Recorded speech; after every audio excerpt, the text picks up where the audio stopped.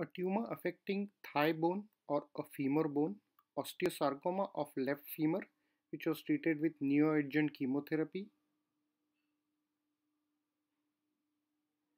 After the surgery, the total femur was resected and this was the defect which was created following the resection of the tumor. So this defect was replaced with a total femur megaprosthesis implant in which the hip joint, knee joint and the thigh bone is replaced by an artificial implant. This is the radiograph showing a total femur megaprosthesis in which the three two joints are replaced and the thigh bone is replaced.